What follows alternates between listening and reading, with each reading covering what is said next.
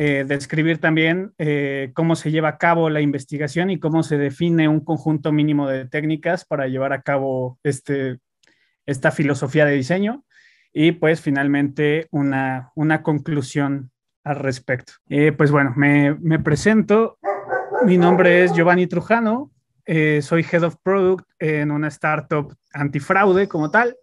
Eh, soy el encargado de la gestión de producto mediante análisis y planificación de desarrollo. Yo me encargo de todo el, el, el diseño, el desarrollo y el buen desempeño del producto, todo relativo a, gestionar eh, el producto de principio a fin.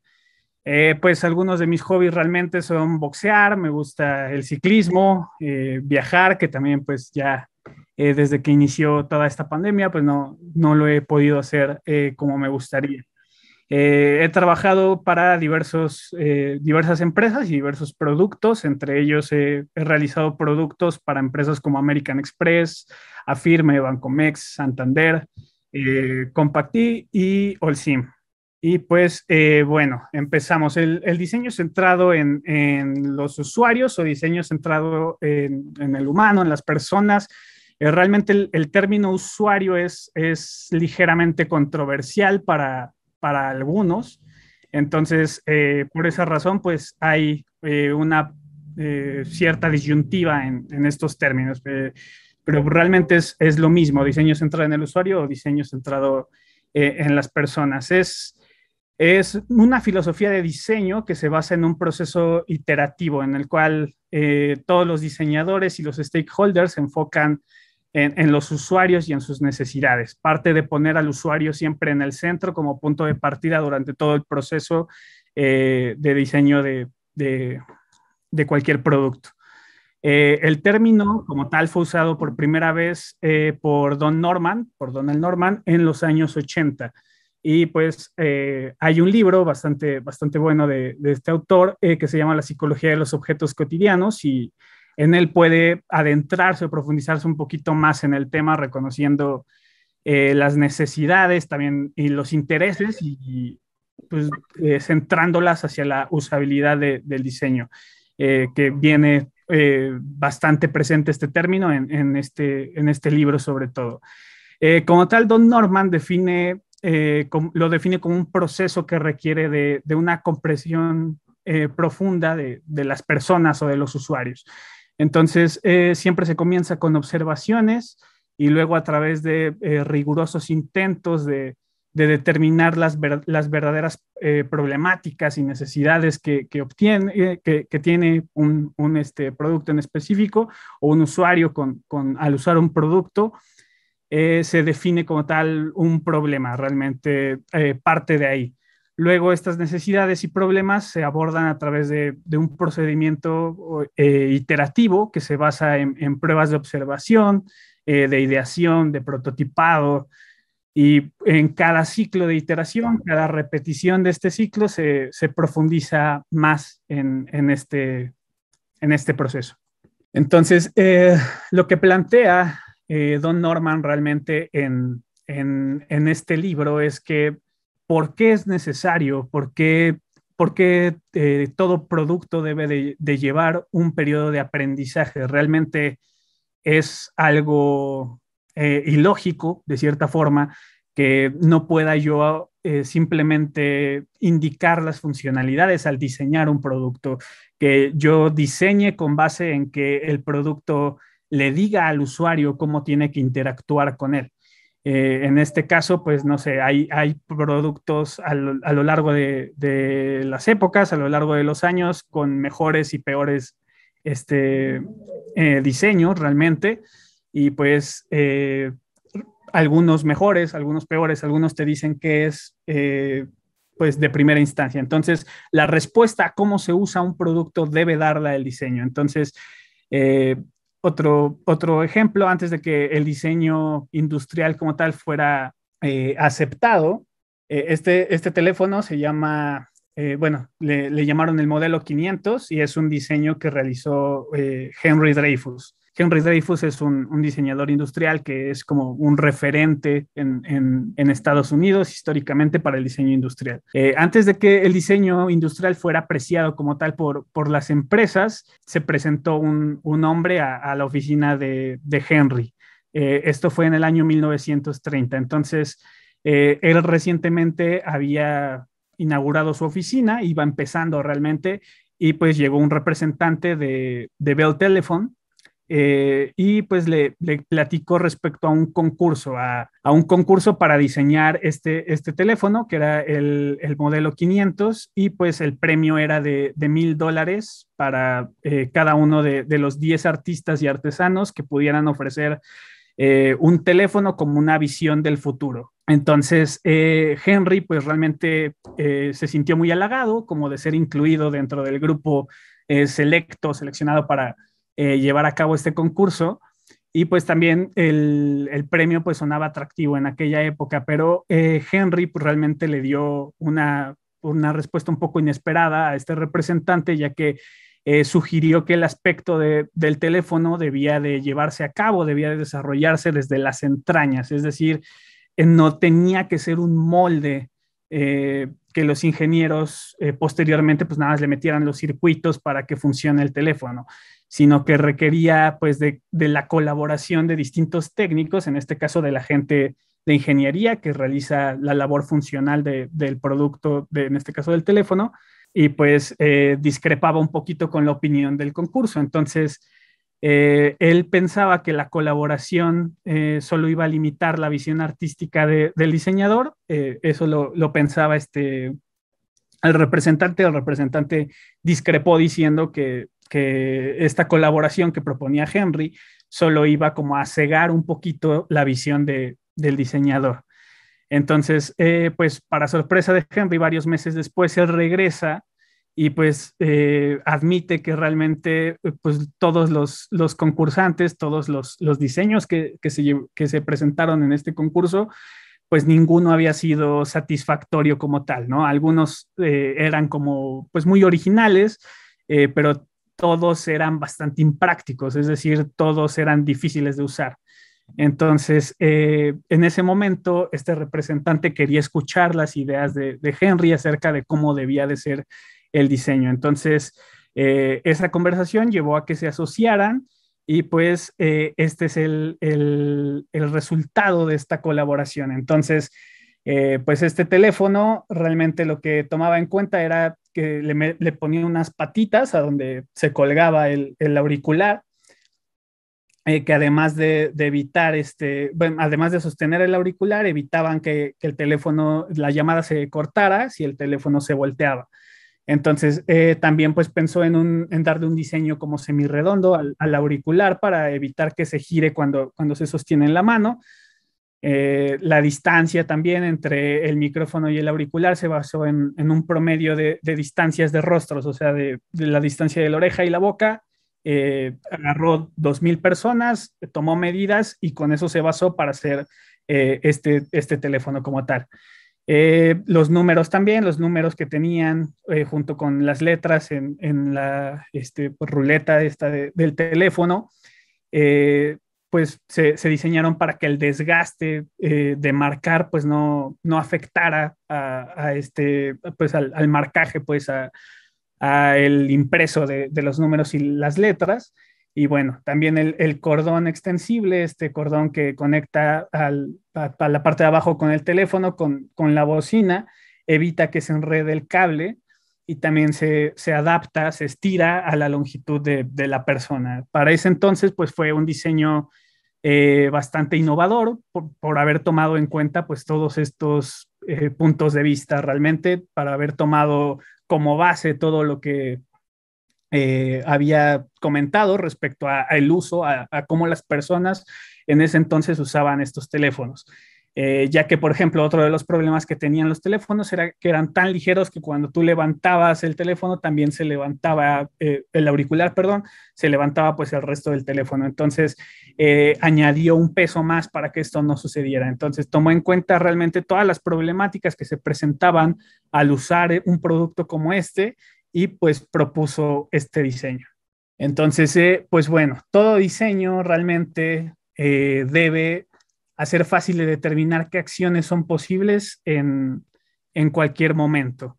Eh, estos son cuatro sugerencias básicas de lo que el diseño debe ser, que está propuesta por, por Don Norman y pues también es parte de, un estandarizo que regula o este, el, el, diseño centrado en el usuario como tal.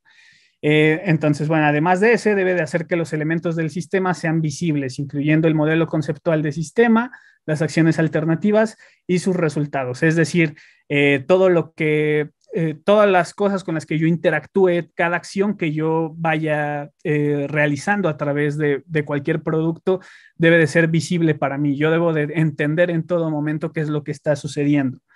El punto número tres, eh, hay que hacer fácil de evaluar el estado actual del sistema, es decir, eh, pues, no sé, si yo estoy provocando algún fallo en específico, si yo estoy cometiendo algún error, el sistema debe notificarme a mí que estoy haciendo algo mal o que a lo mejor eh, pensemos en un formulario. Cuando yo lleno un formulario, este formulario debe notificarme si a lo mejor en un campo de contraseñas necesito usar mayúsculas, minúsculas, números, eh, caracteres especiales, eh, debe de ser esto evidente. Yo debo de, eh, el sistema todo el tiempo debe de, hacerme fácil evaluar cuál es el estado. Por último, pues seguir asignaciones naturales entre las intenciones y las acciones requeridas.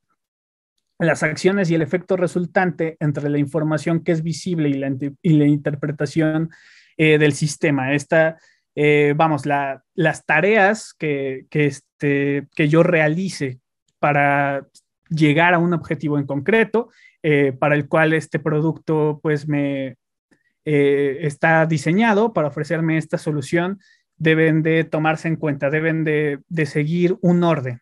Es decir, tiene que tener un journey, un flujo en el cual pues inicia por eh, algún punto en específico, a lo mejor por una solicitud de información, y termina conmigo realizando el objetivo.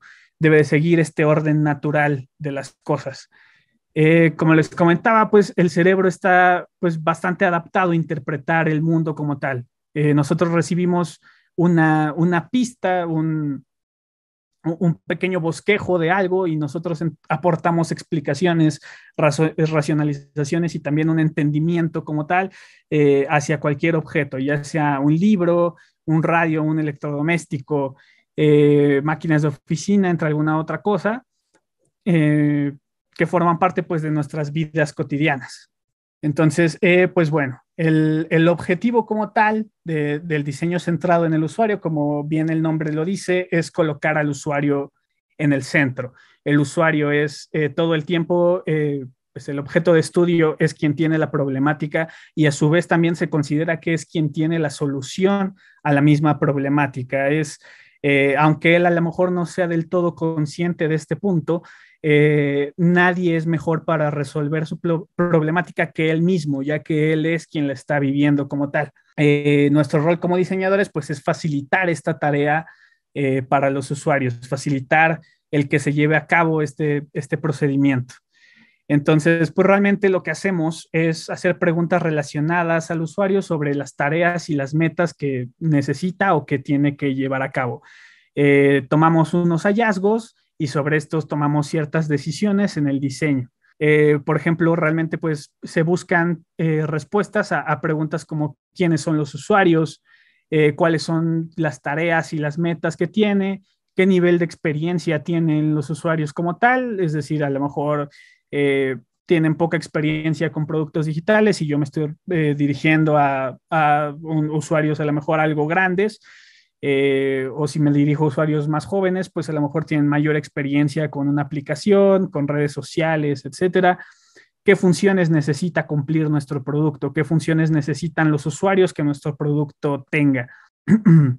Eh, ¿Qué información necesitan los usuarios y también de qué manera la necesitan? ¿De qué manera tiene que ser presentada esta información? Eh, ¿Cómo se espera también que, que un producto funcione? ¿Cómo se espera que que se lleve a cabo, cómo esperaría cualquier usuario que recibe tu producto que éste opere, que éste funcione. Eh, cuáles son los casos más adversos realmente, considerar eh, en qué casos es, eh, digamos, se presentan la mayor cantidad de dificultades. Y pues, por último, pues, qué, qué tareas pueden realizarse a, la vez o si pueden realizarse más de una tarea a la vez. Entonces, pues bueno, realmente el, diseño centrado en el usuario ha sido objeto de estudio de, diversos estándares internacionales especialmente pues hay, hay una norma ISO que es la 13, 1347 2.1999 eh, que describe pues que este proceso tiene que ser eh, iterativo realmente. Es, un estándar que lo describe como una actividad multidisciplinaria más que nada. Y pues eh, la razón principal de, de, cualquier fracaso de un producto es porque este no entiende adecuadamente las necesidades de los usuarios. Eh, cuando diseñamos productos o servicios debemos considerar a las personas eh, siempre, a, la gente a la cual estamos dirigidos, a la gente a la cual estamos, para la cual estamos diseñando un producto. pero también pues a los stakeholders. Los stakeholders son todas las personas que de alguna forma están involucradas dentro de nuestro producto, dentro de todo el, esquema o el, el, organismo de nuestro producto, tienen algún punto de interés. Eh, puede ser, si estamos hablando de un e-commerce, en este caso podría ser eh, la paquetería, sería un stakeholder. La gente que realiza las entregas serían un stakeholder. Eh, además, pues es necesario conocer dónde se usará el sistema. Por ejemplo, mm, Uber, Uber este, para el chofer, el Uber driver, eh, está diseñado para que un chofer lo opere mientras maneja y a lo mejor pues con una sola mano mientras tiene el celular en algún este, soporte para que no se caiga, eh, no necesita más que su mano derecha para poder operar eh, la aplicación. Entonces, se, se, toma en cuenta el entorno desde el cual se va a interactuar con el producto. Si el producto, si la hora en la que se usa nuestro producto es de no sé, es, por la noche, entonces no hay buena luz, eh, si nuestro usuario va a estar parado, si nuestro usuario va a estar sentado, eh, si va a estar en algún almacén. Es importante conocer el contexto desde el cual eh, los usuarios van a interactuar con nuestro producto realmente. Entonces, el primer paso, pues, siempre es identificar nuestros usuarios y nuestros stakeholders.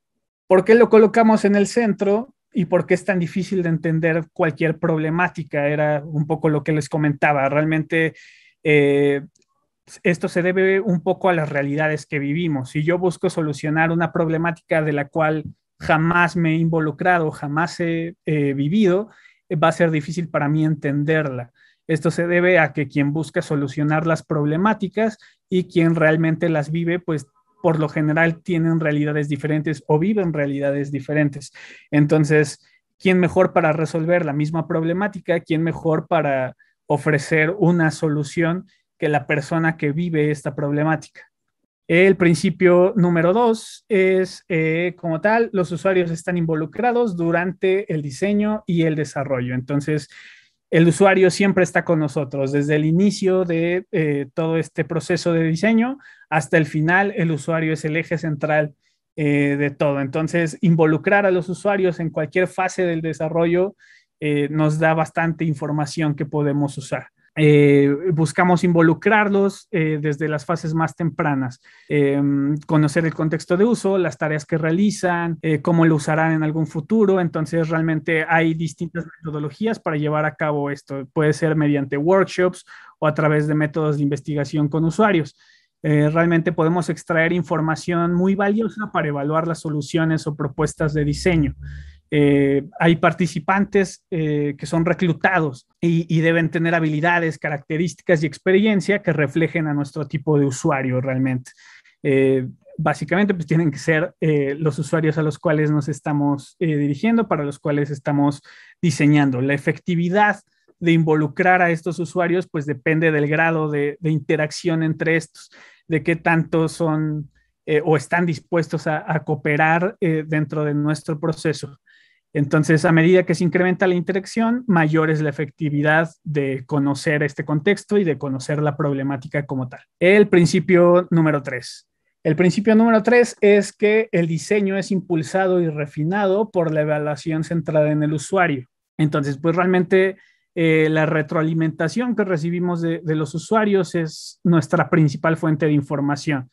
en el diseño centrado en los usuarios, evaluar nuestros diseños, evaluar todo lo que vayamos desarrollando con, con, los usuarios, es la mejor manera de recibir retroalimentación de estos. Entonces, esto realmente minimiza el riesgo de que nuestro sistema no cumpla con los objetivos que los usuarios eh, tienen o que a su vez también nuestro negocio tiene. Eh, las evaluaciones de, diseño preliminares eh, son probadas en, contexto de, en contextos de usos reales y pues esto realmente ayuda a refinar la solución progresivamente, es decir, vamos como tal con los usuarios en el contexto en el cual usan nuestro producto. Si eh, en este caso, pues eh, volviendo al ejemplo del chofer de Uber, tendríamos que evaluar nuestro producto mientras este, esta persona conduce, mientras el usuario conduce y va recibiendo viajes y vemos cómo opera, eh, realmente este sería el método en el cual o el contexto desde el cual nuestro usuario operaría, refiriéndonos a ese ejemplo en específico. Em, Además, pues realizar estas evaluaciones, eh, por lo general siempre se realizan al final, es cuando ya contamos con algún prototipo eh, respecto a, este producto como tal. Esto pues garantiza un poquito eh, los requerimientos y, los objetivos del producto, garantiza que, se cumplan como tal. Y pues este proceso es iterativo, realmente el, proceso se repite. El principio 4, eh, que va un poco en función de, lo último que dije, el proceso es, es iterativo. Eh, iterar, pues realmente es, eh, implica que una vez llegando al final, el proceso vuelve a repetirse desde, desde el inicio. En este caso, piensen a lo mejor en un proceso de abstracción, piensen en contar con un producto algo complejo desde un inicio que va simplificándose hasta llegar a la solución eh, final hasta llegar a la solución más pura. Eh, no todas las problemáticas serán solucionadas desde el inicio, desde la primera hipótesis como tal que teníamos de, del producto. Realmente eh, no puede ser logrado un diseño sin, sin iteración. la iteración debe de ser usada progresivamente para eliminar dudas durante el desarrollo de un sistema interactivo. Entonces, eh, iterar implica que las eh, descripciones, especificaciones y prototipos sean revisados, refinados y cuando una nueva información es obtenida, pues adaptados para eh, esta nueva, nueva información, este nuevo dato como tal. Y pues esto también minimiza el mismo riesgo de no cumplir con, con las necesidades. Eh, muchas veces estas necesidades y expectativas que tienen tanto los usuarios como los stakeholders surgen a medida que el producto se va desarrollando, surgen eh, durante el desarrollo, no al inicio o no al final. Entonces, eh, como tal, pues como diseñadores, refinar significa que podemos entender a los usuarios, sus tareas y adaptar nuestro producto mientras aún está en desarrollo, mientras aún lo estamos aún diseñando. Eh, no lo sé, por ejemplo, los requerimientos son refinados de manera iterativa usando distintos escenarios o, prototipos funcionales para probar desde temprano sin necesidad de gastar eh, pues tiempo y esfuerzo en, desarrollar completamente el producto. Es mejor eh, corregir cuando todavía no es el producto final, cuando todavía no es tu, pues la última versión del producto, el producto que ya vas a lanzar, a pues ya corregir en ese tiempo. Eh, esto es bastante común, sobre todo en productos digitales, ya que pues se sigue metodologías diferentes. No es lo mismo diseñar un producto físico a un producto digital porque se siguen eh, normas, eh, bueno, más bien metodologías diferentes. Eh, pues más o menos esto es como se ve el, proceso que les describo. Por lo general se comienza con, un briefing. El briefing realmente es, podremos decir que es, un resumen eh, de, todo lo que involucra el producto como tal, de las necesidades que tiene como tal el negocio, las necesidades que tiene el usuario, hacia qué eh, usuarios nos vamos a dirigir, quiénes son nuestra competencia, entre algunas otras cosas. el, el, briefing eh, tiene muchas formas de llevarse a cabo. Hay incluso tipos de briefing, hay incluso tipos de briefing. Entonces varía también de producto a producto eh, el tipo de brief que nosotros eh, recibamos como tal. al recibir pues esta información, realmente se lleva a cabo un proceso de investigación, llevamos a cabo un proceso en el cual identificamos cuáles supuestos son correctos, cuáles eh, suposiciones, cuáles este, definiciones que vienen dentro del brief pues eh, van en línea y cuáles necesitamos cambiar. En este caso pues es como una deconstrucción del brief para reafirmar algunas cosas. Eh, a partir de, esta, de este proceso de investigación en el cual ya aterrizamos una serie de, de aspectos, se trabaja una propuesta, esto con bajo un supuesto, bajo una hipótesis, eh, partimos a, un diseño, a prototipar y pues finalmente a llevar a cabo un testeo, llevar eh, a cabo una prueba en la cual el usuario nos va a decir eh, pues si funcionó, si realmente esto que estamos proponiendo soluciona su problemática o si hay pues cualquier este aspecto que nosotros debamos mejorar o afinar para llegar al, objetivo eh, deseado, ¿no? Eh, la experiencia de usuario es, es la consecuencia de la presentación, la funcionalidad y también el rendimiento que ofrece nuestro producto. Eh, así como también la respuesta a, la asistencia y a las capacidades que tenemos, tanto o que tiene el producto, tanto, tanto en hardware como en software. Entonces, también es a su vez es la consecuencia de las experiencias pasadas del usuario. Eh, como lo veíamos con el ejemplo del control remoto, hubo alguien que nos dijo que el control de la izquierda era más fácil de usar porque estaba más acostumbrada a este uso. Entonces, eh, la experiencia, el, contexto del usuario, los productos con los cuales ha interactuado a su vez también son consecuencia, eh, bueno, marcan una consecuencia en, la experiencia que recibirá al usar nuestro producto, siempre y cuando nosotros consideremos todo esto. Realmente, pues una idea equivocada de, la usabilidad es que se refiere únicamente a ser un producto que es fácil de usar y no, no, no es realmente así. la experiencia del usuario involucra considerar eh, cuándo es apropiado y también los impactos organizacionales, eh, la documentación que contamos del usuario, eh, brindar ayuda en línea, brindar soporte, mantenimiento, capacitación, entre algunas otras cosas. El proceso es iterativo, entonces, como les comentaba, el proceso se repite y se repite hasta que logremos llegar a una solución eh, que cumpla a cabalidad con todas las necesidades o los objetivos que hemos planteado o que el mismo usuario nos haya planteado. El principio 5. El principio 5 del diseño contempla la experiencia, eh, el diseño contempla la experiencia completa del usuario, es decir, no podemos sesgarlo solo a, un aspecto en específico. el diseño centrado en el usuario no necesita ser demasiado grande, pero necesita ser diverso para colaborar y tomar decisiones apropiadas durante el diseño y la implementación como tal de nuestro producto. Entonces, hay, hay áreas y habilidades, también puntos de vista, que podrían ser necesarios en, cualquier equipo de, diseño. Contemplar también la experiencia eh, completa significa que no, no nos vamos a basar simplemente en lo que el usuario diga o en lo que el usuario, no sé, haga como tal. Necesitamos contemplar también el contexto desde el cual el usuario interactúa, la situación, el momento, la hora del día. Todos estos aspectos involucran a cabalidad eh, todo el, toda la experiencia del usuario al involucrarse con un producto, al interactuar con un, con un producto como tal. Eh, y el principio número 6 y último principio como tal de, este, del estándar que les platicaba del ISO es que el equipo de diseño pues incluye habilidades y perspectivas multidisciplinarias. Entonces, eh, como les comentaba, pues normalmente se trabaja con un equipo multidisciplinario en, dependiendo también de, la naturaleza del producto. No lo sé si es eh, un producto pues físico, una silla, pensémoslo así. A lo mejor habrá gente especializada en ergonomía, en cómo hacer que, que la silla tenga cierta, eh, cierto diseño para no dañar a nuestro usuario a través de largos periodos de tiempo. Entonces, pues, realmente hay factores humanos, hay factores ergonómicos, si el producto eh, así lo requiere, hay aspectos de usabilidad, aspectos de accesibilidad, que es bastante importante también, el que tan eh, fácil o legible es mm, los aspectos de nuestro producto, los, los textos como tal, o las interacciones que tan fácil son de, leer. Hay gente que es débil visual, hay gente que tiene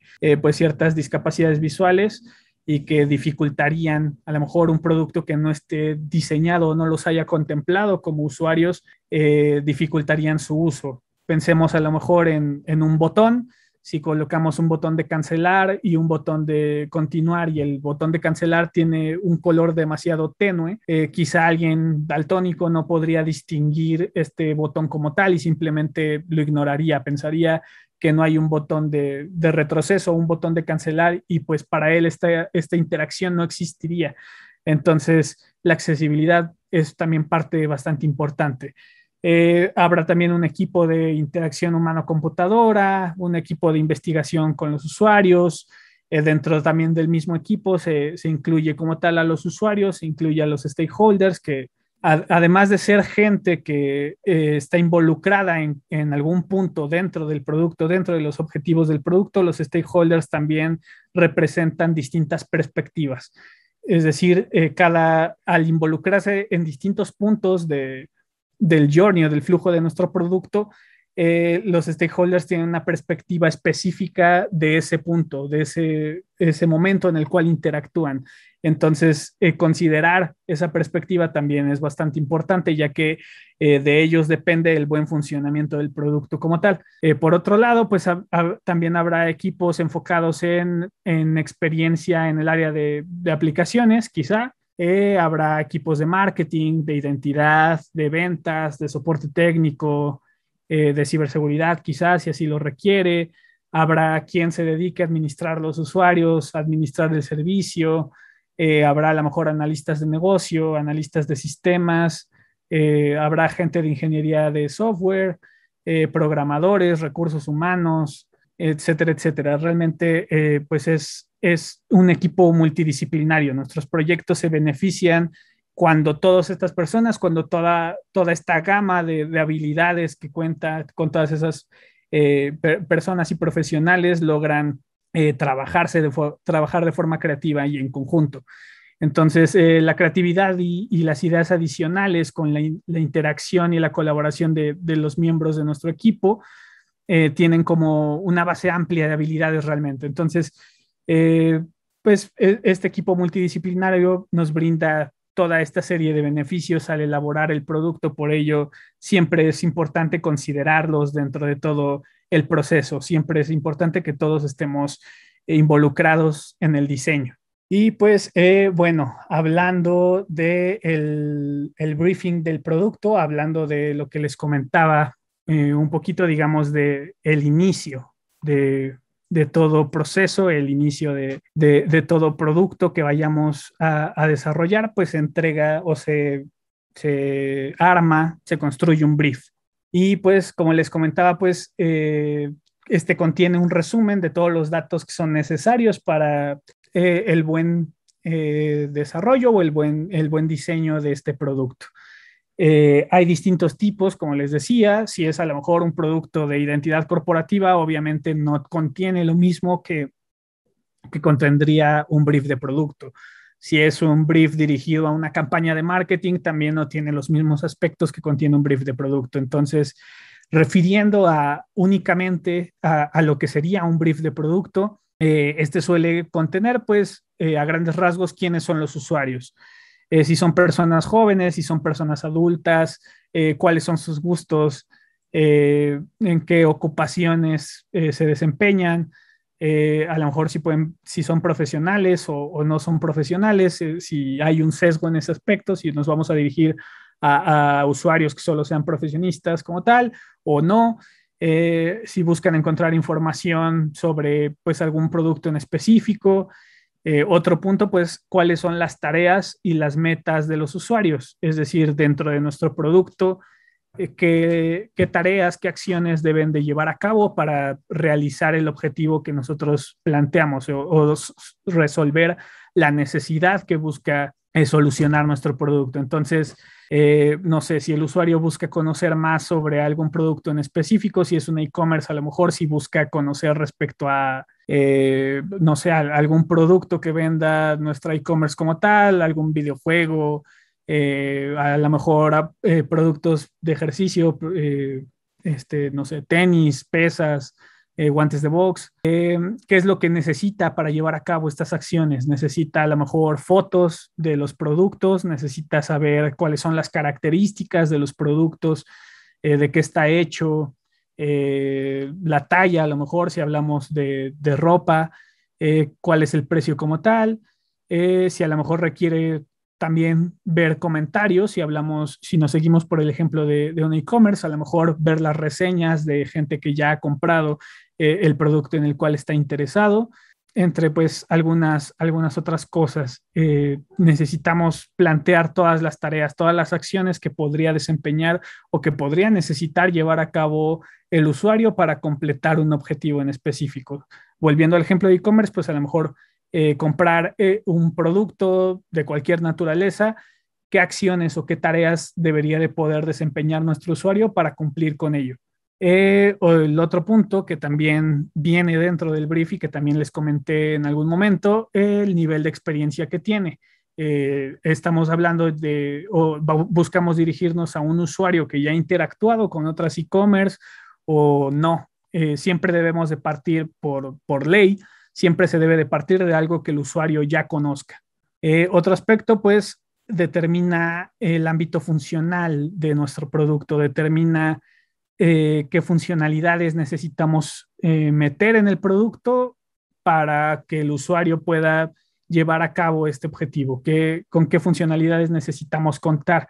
En este caso, pues a lo mejor si seguimos con la e-commerce, a lo mejor con un slider, eh, con filtros de búsqueda, con selectores de, cantidad de productos, este, selectores de color del producto, entre algunas algunas otras cosas, no lo sé, un catálogo también, eh, si, debe, si debemos incluir un servicio de chat para que la atención sea rápida en caso de que haya alguna duda.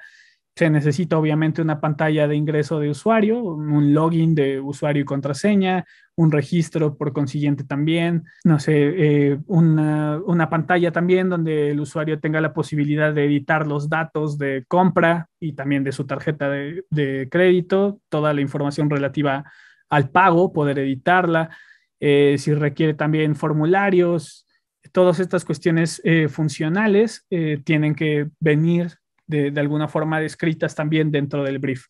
por otro lado, también se cuenta con la información que los usuarios necesitan y de qué forma tiene que ser presentada. Si se necesita, pues, no lo sé, conocer una política de privacidad cuando se registran, si se requiere de un consentimiento para llenar un formulario, eh, si se requiere también alertar sobre la política de cookies, ¿no? Muy común eh, hoy en día.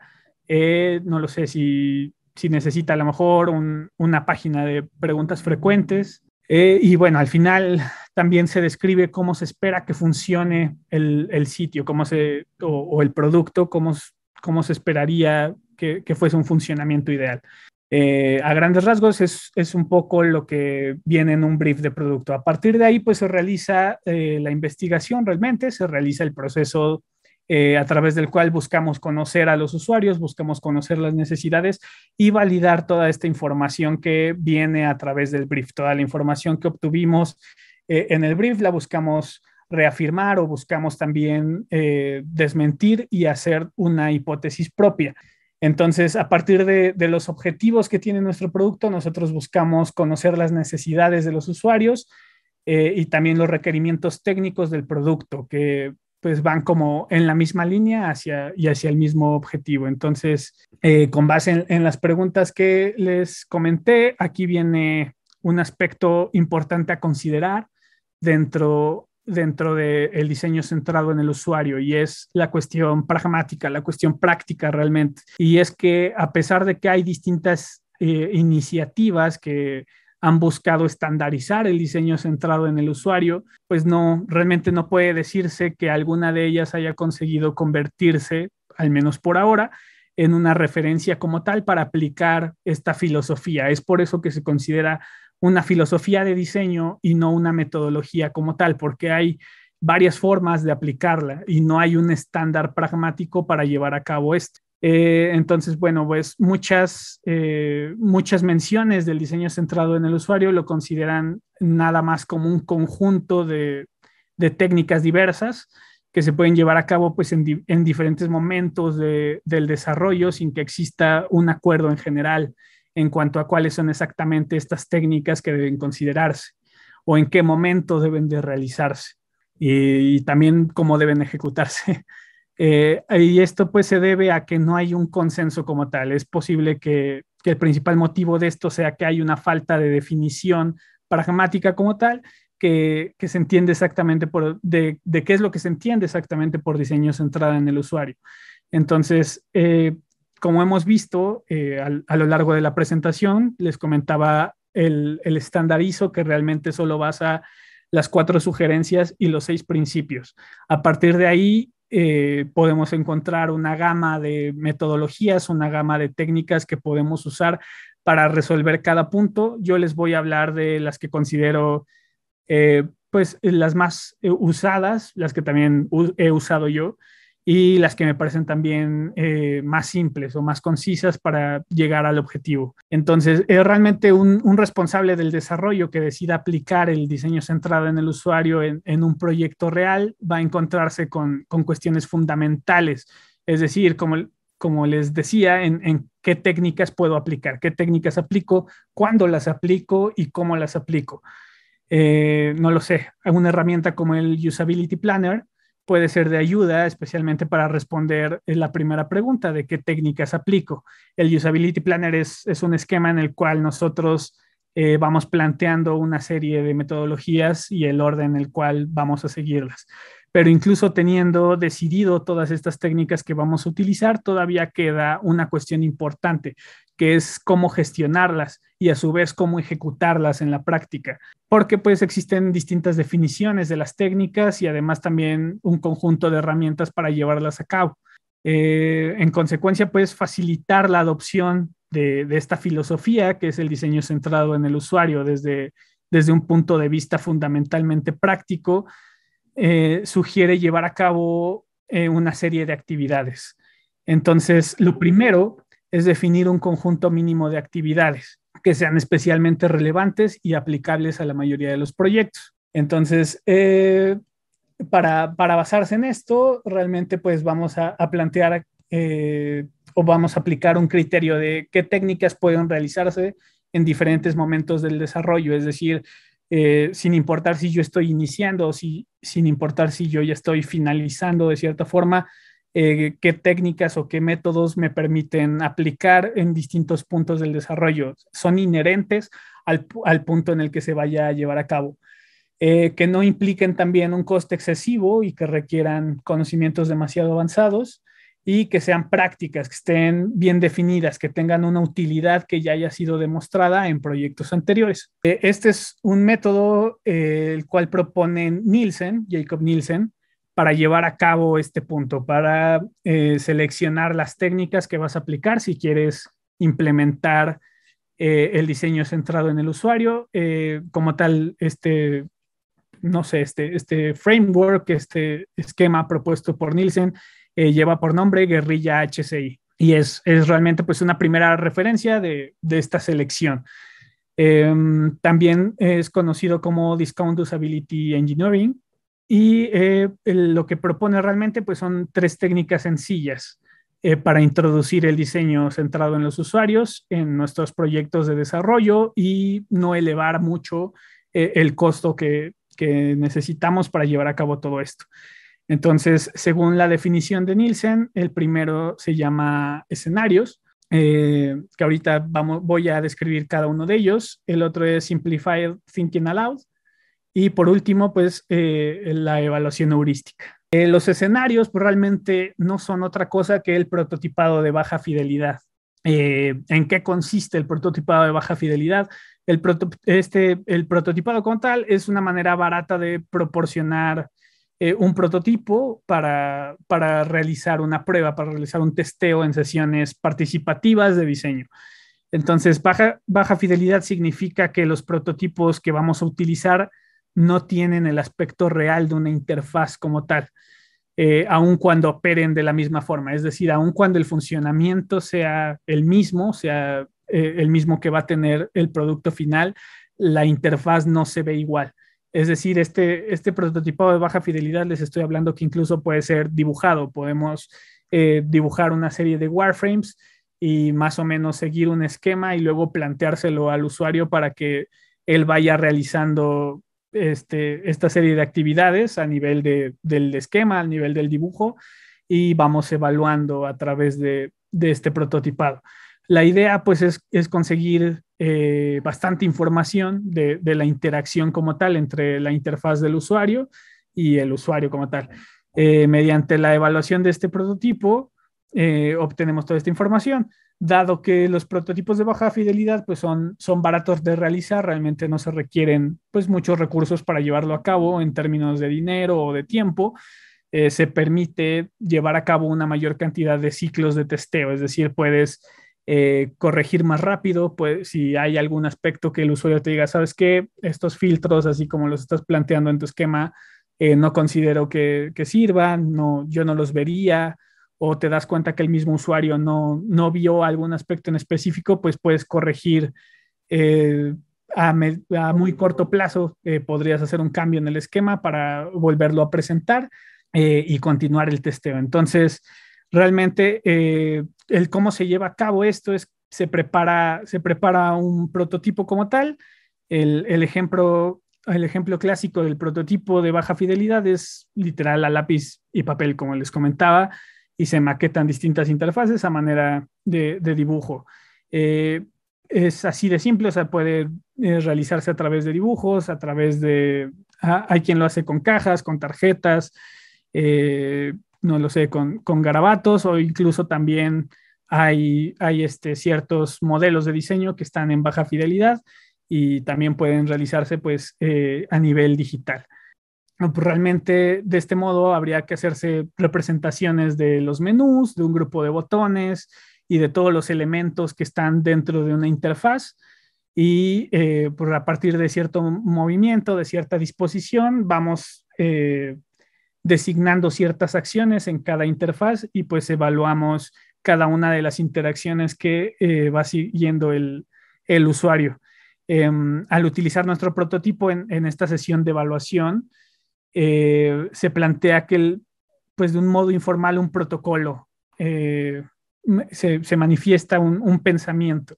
Se puede utilizar por dos evaluadores. Normalmente en cualquier testeo hay, hay un evaluador que lleva este, esta prueba, es decir, va llevando al usuario a través del proceso de, de nuestro producto y hay otro evaluador que se dedica a registrar las respuestas, se dedica ya sea grabadas, ya sea escritas, se dedica a llevar un control de todo lo que el usuario va, eh, va diciendo a, lo largo de, de, este, de esta sesión.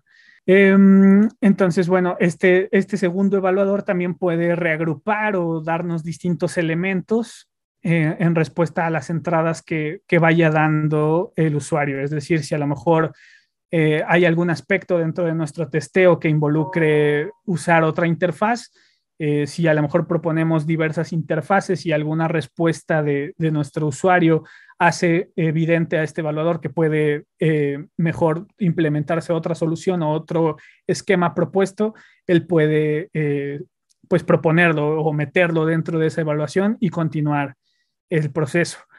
realmente, pues, esta es una de las metodologías más usadas al aplicar el diseño centrado en el usuario. Eh, el otro punto es el Simplified Thinking Aloud, es decir, eh, una prueba de usabilidad. Esta ya literalmente es con el producto o con un prototipo. Eh, entonces, este, realmente, pues aquí lo que se hace es similar al prototipado, solo que eh, se cuenta ya con un prototipo funcional, ya se cuenta con eh, las interacciones o la interfaz definida, ya con un diseño. Y este, pues el mejor método para, para entender eh, la experiencia de usuario suele considerarse este como, como uno de los mejores métodos. Este método tiene su origen o su inspiración en los experimentos en condiciones controladas que se realizaban en la psicología, pues como tal toman esta técnica con un grado más pragmático con un grado práctico que relaja las características para lograr que el usuario pues se sienta cómodo con interactuar con el producto. La idea es eh, casi casi que el usuario interactúe con el producto como si tú no lo como si tú no lo estuvieras observando, como si tú no estuvieras ahí realmente. Y pues eh, por lo general estas sesiones se llevan en 60 o 90 minutos, también depende de la naturaleza del producto, de qué tan largo es la iteración que necesita este producto para llevarse a cabo, el, journey qué tan largo es. Y pues eh, aquí realmente los usuarios pues, llevan a cabo todo este proceso a través de, de nuestro producto, llevan eh, todo el journey y nos permiten evaluar concentrando el esfuerzo en aquellos aspectos funcionales sobre todo que representan una preocupación eh, a nivel de desarrollo y en donde hay pues un grado de incertidumbre con respecto a cómo se va a interpretar por el usuario. Entonces, estas pruebas permiten lograr la creación de, de un producto de manera incremental e iterativa. Esto se hace con ideales para integrarse de manera natural a metodologías ágiles como es Scrum, por ejemplo. Vamos, suele diseñarse a partir de las necesidades del descubrimiento que hicimos en, en la investigación y eh, nuestro, eh, un equipo de diseño establece el protocolo, establece la guía que facilita esta ejecución de esta secuencia y normalmente involucramos o definimos tareas dentro de este producto. Entonces, a lo mejor una tarea es el inicio de sesión o la creación de, de la cuenta. Eh, si mi producto empieza porque el usuario tenga que crear una cuenta, esa es la primera tarea. La siguiente tarea a lo mejor sería que eh, realice una compra.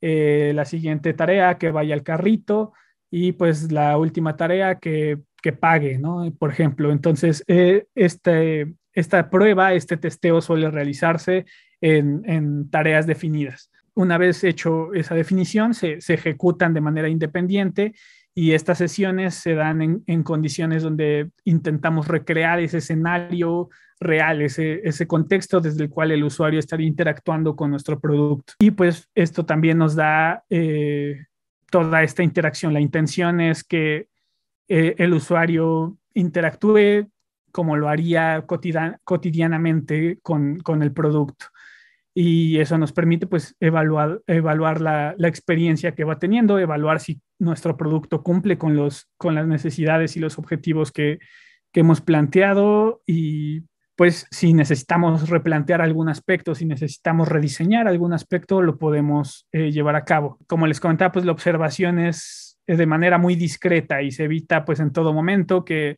que el participante sea afectado por estar siendo observado o por estar eh, sintiéndose evaluado. De hecho, el objetivo o, según los protocolos siempre se inicia diciendo que no hay respuestas eh, correctas, incorrectas, eh, que no es una evaluación, que realmente solo quieres conocer cómo interactúa con el producto y la idea es solo guiar al usuario. La idea es que el usuario interactúe con cada una de las tareas de la forma más natural. Tú solo guías como, mira, este es este es el producto, este es el inicio de sesión, por favor continúa. Eh, siempre debes de fomentar que el usuario hable más que tú, siempre debes de fomentar que eh, quien va realizando este testeo eh, te diga todas las impresiones que tiene. te limita solo a observar si se detiene, si a lo mejor hay algún punto en el que parezca confundido y solo en ese momento es cuando entras a preguntar si hay algo en específico que, que haya pasado es, una tarea más de observación eh, que de estar eh, hablando con el usuario, ya que se considera que esto puede sesgar el, pues la, el, valor de, la información que te va a presentar. Y pues por último, la evaluación heurística, que es el, el, último de los métodos que propone Nielsen para aplicar esta filosofía, esta filosofía de diseño. Y bueno, ¿qué es la evaluación heurística? Una evaluación heurística es eh, un método de inspección de la usabilidad, pero sin usuarios. Eh, es decir, este consiste en examinar la calidad del uso que tiene cualquier interfaz y pues suele realizarlo un evaluador experto, un experto en heurística, eh, a partir del cumplimiento de distintos principios que son reconocidos de usabilidad. Estos principios pues también suelen conocerse como principios heurísticos y el principal objetivo es medir la calidad de la interfaz o de cualquier aplicativo en relación con la facilidad para ser aprendido y para ser usado. Eh, como lo veíamos anteriormente con algunos productos, qué tan rápido es mi periodo de, aprendizaje al, recibir o al empezar a usar este producto. Y pues eso también involucra qué tan fácil es que yo lo pueda usar. Eh, sin embargo, pues hay, hay, algunos que se centran como en, esta eh, forma consecutiva de, tareas y hay otros que inspeccionan también problemas potenciales, es decir, este, aspectos que pueden suceder realmente. Se plantean escenarios que podrían llegar a suceder y que a lo mejor no están siendo cubiertos. Planteas un escenario en específico y ves qué tan eh, factible es que el producto pueda solventar ese escenario, pueda eh, seguir o cumplir con su funcionamiento a pesar de este escenario pues crítico de alguna forma. El evaluador realmente pone, eh, se pone como usuario del sistema e intenta predecir ciertos errores que podrían encontrarse. Eh, a su vez, eh, dentro de la evaluación heurística hay distintos tipos de evaluación. Entonces, pues realmente se, han presentado distintas versiones en, la presentación de, de Nielsen en 1990, pues se revisó y, se resumió en 10 principios heurísticos como tal.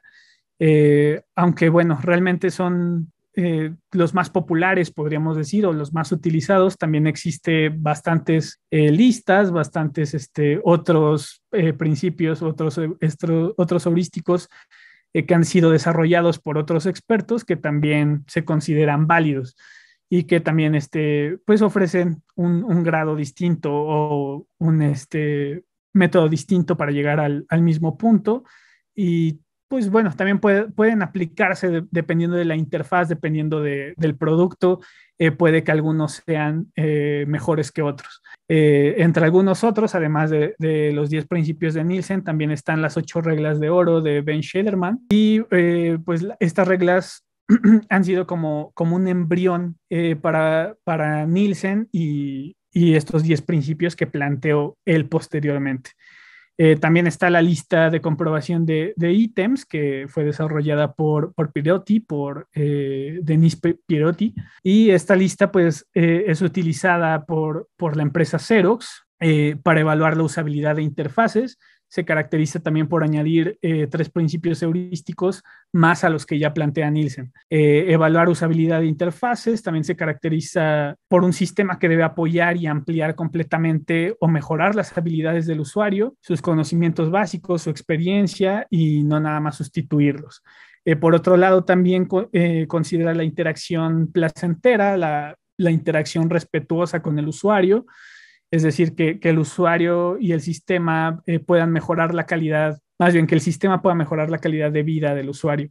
También la privacidad eh, es incluido en, la lista de comprobación de ítems, es decir, el sistema debe ayudar a proteger la información personal o privada de, los usuarios, tanto como, no lo sé, toda la información que pertenece realmente a los clientes debe ser totalmente protegida como un aspecto heurístico. Eh, Nielsen plantea estos 10 principios y vamos a ver cada uno de ellos. Eh, el principio número uno es la visibilidad del estado del sistema. Eh, es decir, el sistema siempre debe mantener a los usuarios informados sobre lo que ocurre a través de una retroalimentación apropiada y en tiempo razonable. Es decir, yo tengo que saber en todo momento en qué momento me encuentro en qué interacción me encuentro. Eh, este es un ejemplo de una plataforma de vuelos, una este, página en la cual yo puedo comprar vuelos. Entonces, e, este aspecto eh, me va guiando. Esto se llama argumentación progresiva y va guiándome a través de la interacción. Entonces, yo sé que estoy en un proceso de cuatro pasos y me encuentro en el paso uno, que es seleccionar como tal el vuelo. Todo sistema debe de ser transparente en ese aspecto, debe de informar todo el tiempo al usuario y dónde se encuentra. El principio número dos es el empate entre el sistema y el mundo real. Como les decía, eh, por ley, realmente debemos de basarnos en, en algo que ya exista, en algo que eh, a lo cual el usuario ya esté acostumbrado. Entonces, eh, debemos hablar ese mismo lenguaje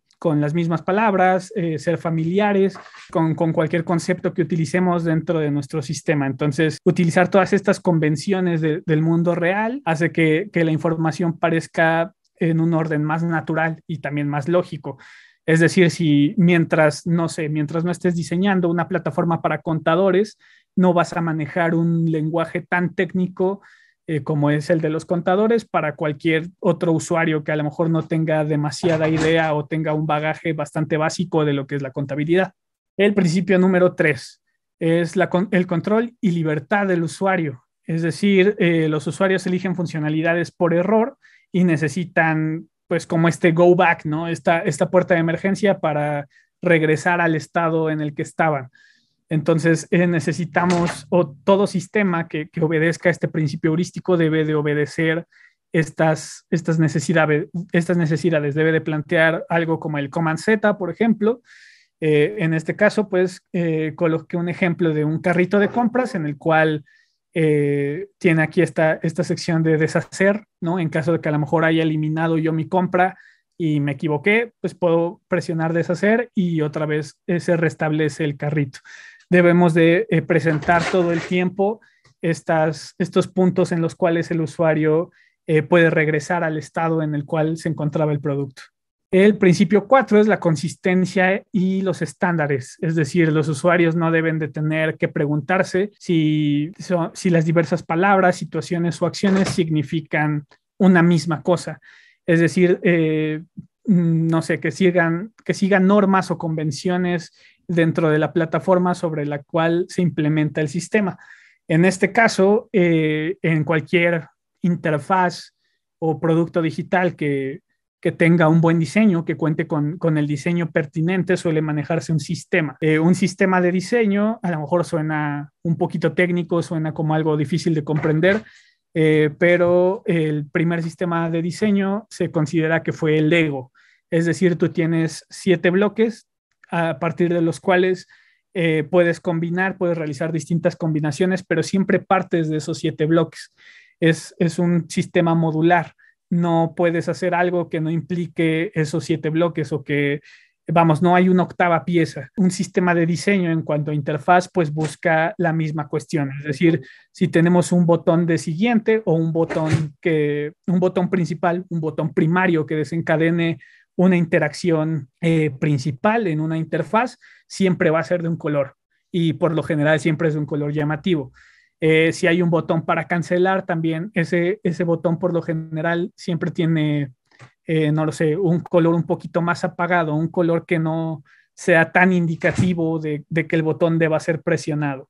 Si tenemos un calendario, también el calendario debe de contar con, con, estas cuestiones interactivas de seleccionar una fecha, seleccionar este, el año, entre algunas otras características. El drop down tiene que ser el mismo.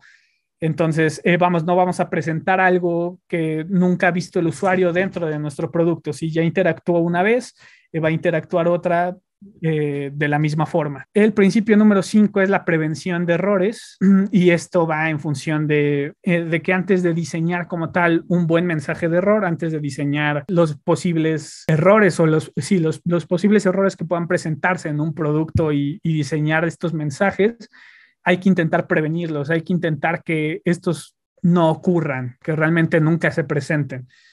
Eh, en este caso, pues es por eso que se plantean distintos escenarios, es por eso que se plantean eh, situaciones como qué pasa si el usuario se le olvida la contraseña, eh, por ejemplo, y pues se ofrece una acción, se ofrece un método para cual solventar ese posible escenario en lugar de, no lo sé, en lugar de solo esperar a que ocurra ese error. Hay que prevenir en lugar de esperar a que ocurra. Y pues bueno, este es un ejemplo de Facebook en el cual lo comentaba también hace, un momento, te indica más o menos que cómo tienes que armar la contraseña. El principio número 6 es el reconocimiento eh, mejor que el recuerdo, es decir, es mejor que el usuario reconozca a que el usuario tenga que recordar cómo se realiza una acción. Y pues ahí volvemos un poquito al ejemplo del control. Eh, realmente es fácil interactuar con el control de la derecha, con el, el control del Apple TV, porque eh, tiene elementos que son fácilmente reconocibles si tú ya has operado otros controles. Eh, si tienes un círculo con flechitas, pues más o menos sabes eh, por ese mismo recuerdo, por ese, digo, por ese mismo reconocimiento de otros productos, pues que sirve para desplazarse. Si hay un círculo en el centro, también por reconocimiento, si conoces que ese botón sirve para, para seleccionar. Eh, si hay un botón que tenga este triangulito de play y las dos rayitas de pausa, de igual forma reconoces para qué eh, funciona. Eh, se considera que el, cerebro humano realmente, como a corto plazo o en, primera cantidad de, de una interacción, tiene una capacidad de memoria de entre 5 y 7 elementos. Entonces, el brindar un, producto en el cual te hayas basado en algún otro producto existente que ya haya sido usado por nuestro usuario, permite este reconocimiento, permite que reconozca ya un funcionamiento, permite que reconozca cómo tiene que interactuar y pues ejecute esta acción. En este caso, esta es una página para seleccionar un hotel y pues vamos, tienes aquí en, la parte de arriba hacia el destino que seleccionaste, la fecha que seleccionaste, cuántos adultos, y pues vas como llevando este seguimiento y este, este esquema o este, e, esta interfaz, este tipo de, interacción es muy común en, en cualquier sitio de alojamientos realmente. Entonces, al basarte en eso, si ya interactuaste con uno, puedes reconocer esta interacción y llevarla a cabo en cualquier otro sitio. El principio 7 es la flexibilidad y eficiencia de uso, eh, que también lo platicábamos con, los controles. Entonces, eh, deben de haber aceleradores. Realmente, si, si hay, debes de, debes de ser capaz de reconocer qué interacciones son comunes, qué interacciones son recurrentes de los, eh, entre los usuarios y ofrecer una facilidad, ofrecer un método para llevar a cabo esa acción recurrente. En este caso, eh, pues los shortcuts es, un buen ejemplo de, este punto, ¿no? En este caso, no sé si eh, estoy en, eh, son los shortcuts de, Twitter. si quieres enviar un nuevo tweet, solo apretas la tecla N, si es favorito F, si es responder R. Entonces, están realmente flexibilizando su producto y haciéndolo más eficiente al identificar estas, estas tareas, estas interacciones y brindar este, ciertos sistemas o ciertas interacciones que lo, le permiten personalizar estas acciones frecuentes. El principio 8 es el diseño estético, es eh, estético y minimalista, los, es decir, que eh, la, la interfaz solo contenga la información más relevante al respecto. Es decir, eh, debes de intentar limpiar la interfaz lo mayor posible, ya que el usuario suele enfocarse en aspectos puntuales, se focaliza en las interacciones que tiene que realizar. Si tú atiborras una interfaz, si tú tienes una interfaz demasiado cargada o con demasiados elementos, eh, puedes confundir las interacciones, incluso puedes confundir el orden en el cual el usuario tiene que interactuar. Eh, de esta forma, pues lo que plantea este punto en específico es que solo se maneje la información más relevante, solo los aspectos más interactivos y pues eh, que obedezcan a una interacción principal. Por lo general, toda interfaz tiene una interacción solamente, una interacción principal siempre. Hay interacciones secundarias, pero la interacción principal siempre es remarcada. En este caso, pues eh, coloqué el ejemplo de Google, que ellos llevan bastante, bastante tiempo rehusándose como a eh, cargar más su interfaz. Eh, es bastante minimalista, solo es su logo, dos botones y el buscador. Bueno, el, principio número 9 ayuda a reconocer, diagnosticar y recuperarse de errores. Entonces, todos los mensajes de error que, que tú le muestres a, a tu usuario como tal, Em, todos deben estar expresados en un, en un lenguaje pues común, en un lenguaje que no maneje códigos y deben de indicar cierta precisión en el problema y sugerir también una solución a, esa problemática que está presentando. Eh, no lo sé si es un error 404, pues debes de eh, ser lo más explícito posible hacia el usuario de lo que ha pasado. Todo error que se presente eh, debes de brindar al usuario suficiente información para que él pueda solucionar ese error o por lo menos para que él pueda saber la naturaleza del error, de qué es lo que se trata y pues comprender eh, si a lo mejor es algo que no puede cambiar o en caso contrario, si es algo que puede cambiar, eh, ofrecer estas alternativas de, pues de cómo llevarlo a cabo. Y bueno, por último es el principio 10, que es la ayuda y la documentación. Eh, aunque es mejor que, se pueda usar un sistema sin documentación, pues realmente siempre es necesario que, un usuario esté provisto eh, de ayuda, de un help center, de algún, alguna página donde se ofrezca distinta documentación o de algún sistema de soporte donde a lo mejor ya haya ciertos usuarios que hayan comentado respecto a una problemática. Eh, no lo sé, puede ser que a lo mejor nuestro sistema se caiga y pues tú necesitas saber si es un error general o si es un error solo tuyo. Entonces, estos puntos, estas, estos, este, estas interacciones de ayuda, es precisamente lo que buscan brindar, que el usuario tenga esta facilidad de buscar y también suelen centrarse en, tareas que el, que el, usuario tiene, ¿no? Normalmente siempre eh, no lo sé, pensando en, algunos de los help centers, pensando en el help center de Adobe, eh, ellos suelen como tener los problemas más frecuentes. Entonces, en caso de que tú busques algo en específico, ellos te arrojan a lo mejor un problema que ya ha sido bastante común. Entonces, eh, se detecta realmente cuáles son problemas comunes y cuáles a lo mejor requieren una atención específica y pues ya son direccionados a un área de soporte en específico. Es un poquito largo, pero en general este es el esquema mínimo para aplicar eh, esta filosofía del diseño centrada en el usuario. Esta es, esta es la praxis mínima para llevar a cabo este, este enfoque o esta filosofía, porque como lo vieron, cuenta con distintos métodos. Realmente no hay uno, eh, uno como tal determinado, un método estandarizado para llevar a cabo eh, este aspecto.